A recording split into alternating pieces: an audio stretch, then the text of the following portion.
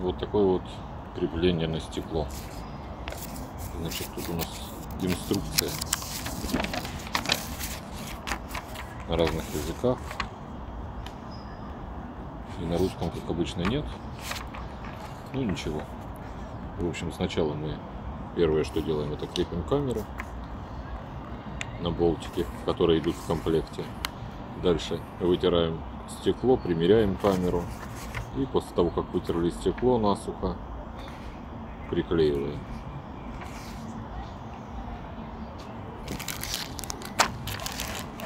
Вот сам набор.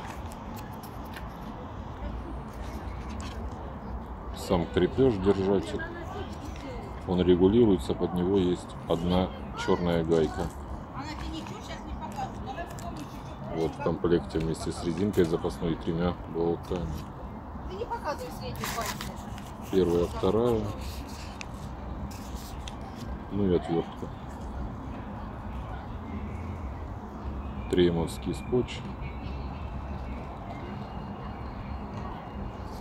Посмотрим, сможет ли выдержать он жару. Ну, вот так вот это выглядит на стекле. И довольно-таки уверенно держится. Ну и если отключить зеркало, то в принципе обзору не мешает на заднем стекле. Ну вот так в общем выглядит позади площадка детская. Так. Заводимся. Включаю